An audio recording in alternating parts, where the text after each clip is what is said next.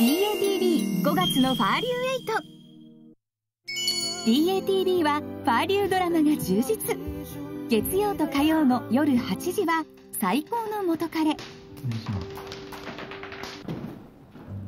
そして23日から最高の元彼を1話からスタート。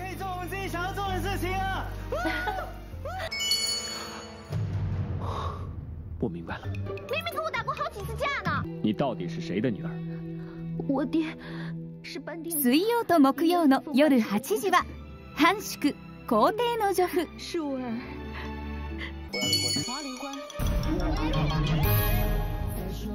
毎日朝4時は林陽栄主演。もう一度プロポーズして。